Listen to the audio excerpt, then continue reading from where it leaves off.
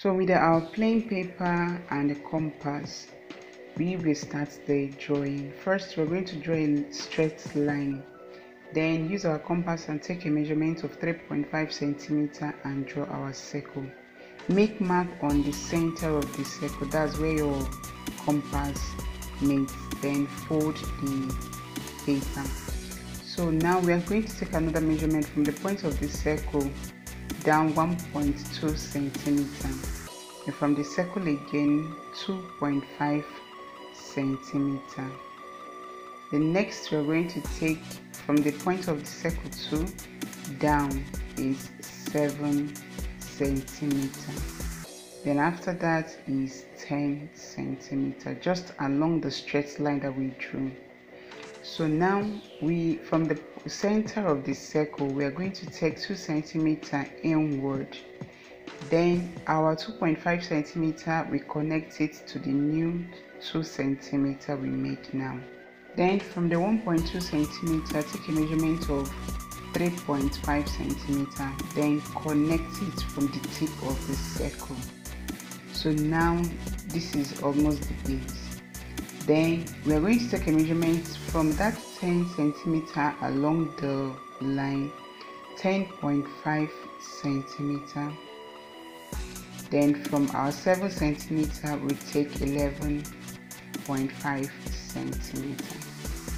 Okay so with this all our measurements are complete. Now we are going to connect this to our 11.5 it's going to be curvy not straight. So try as much as possible to do it just the way I did mine. And from this way we connect it to our 10.5 so while connecting make sure that the width of the strap still remains 2.5 centimeter okay? So after this we're going to cut it.